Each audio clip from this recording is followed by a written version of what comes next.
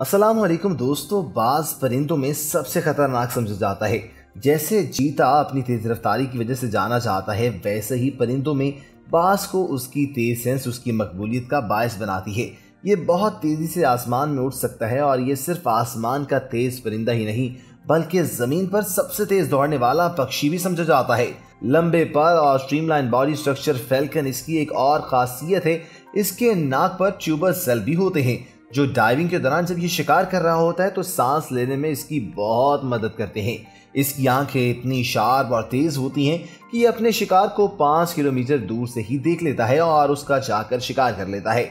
अपने नोकीले पंचों की वजह से ये किसी भी जानवर का शिकार और चीर फाड़ बहुत आराम से कर सकता है। दोस्तों, आज की वीडियो में आपको कुछ ऐसे ही बास के खतरनाक हमले दिखाने जा रहे हैं इस वीडियो में, लेकिन इससे कबल मैं आपसे एक गुजारिश करना चाहता हूँ कि अगर अभी तक आपने हमारे channel TV zero zero four को सब्सक्राइब नहीं किया तो इसको फ़ौरन से सब्सक्राइब करके हमारे पक्के सब्सक्राइबर बन जाइए, ताकि आने वाली हमारी तमाम वीडियोस की नोटिफिकेशंस आपको हर वक्त और बर वक्त मिलती रहें। दोस्तों, यहाँ पहाड़ी पे बैठा एक बाज शिकार की तलाश कर रहा है। शायद ये भूखा है, और वही थोड़ी ही देर बाद चीता अपने बच्चों के साथ मस्ती कर रहा नज़र आ रहा होता है।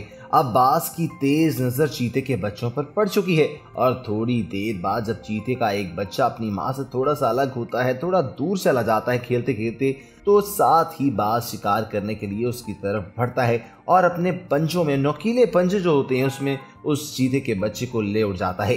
दोस्तों, जैसे ही चीते को अपने बच्चे का पता चलता है कि मेरे बच्चे को बाज उड़ा कर ले गया है, वो फ़ौरन अपनी तेज आँखें जंगल में घुमाता है और उसको तलाश करता है। उसकी नज़र उस बास पर जब पड़ जाती है तो जिसने उसके मासूम बच्चे की जान ली है, भूखा बाज अपनी भूख मिटाते हुए उसके बच्चे को दरख्त पर बिठा कर खा रहा होता है कि अचानक चीता भाग के उस दरख्त पर चढ़ जाता है।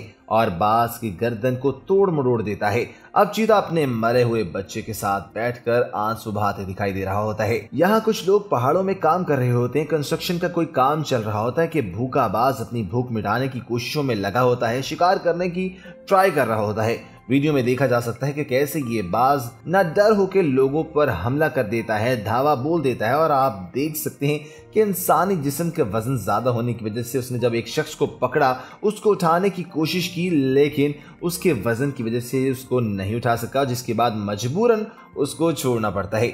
दोस्तों, तीसरे नंबर पर अगर हम वीडियो की बात करते हैं तो जब एक बाज पहाड़ की चोटी पर बैठा होता है और बाज को एक बकरी का बच्चा नज़र आ जाता है वो शिकार के मोड में है और अब यहाँ ये बाज अपनी अलग ही टेक्निक को इस्तेमाल करता है।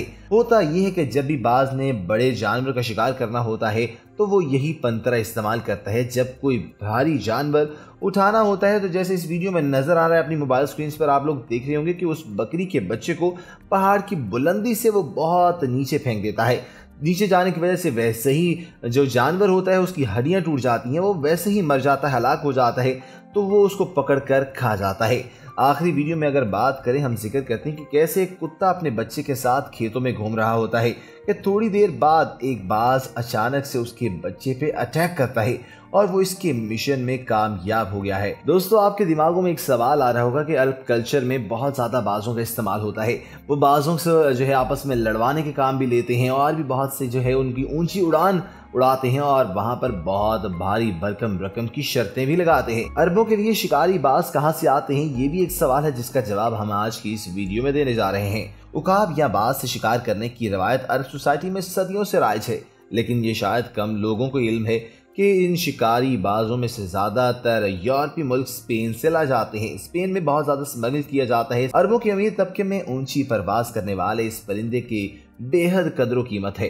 दोस्तों, वो उनको बहुत ज़्यादा फोकियत भी देते हैं, उनकी बहुत कदर करते हैं। यहाँ तक कि अल्फ खरीदार महज एक बाज हासिल करने के लिए हज़ारों यूरोस भी अदा कर देते हैं। नाजिन सामीन, उम्मीद करते हैं कि आपको आज की वीडियो बेहद पसंद आई होगी। अगर आपको ये वीडियो पसंद आई है तो हमारे कमेंट सेक्शन में अपनी राय और तजवीज़ का इजहार कीजिएगा। एंड पे मैं यही कहना चाहूँगा कि आप हमारे चैनल को सब्सक्राइब कर लीजिए, साथ ही बेल बटन को भी दबा दीजिए, ताकि आने वाली तमाम वीडियोस की नोटिफिकेशंस आपको हर वक्त मिलती रहें और आप उनसे मुस्तफ़ होते रहें। अपना ख्याल रखिएगा।